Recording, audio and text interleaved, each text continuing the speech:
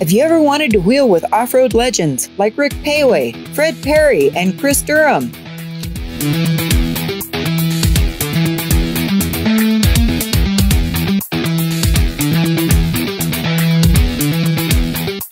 Is your rig WARN equipped?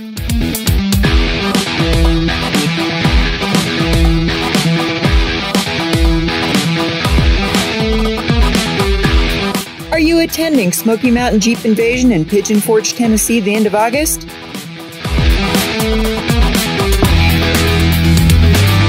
Then join us for a day of wheeling with WARN at the legendary Windrock Off Road Park.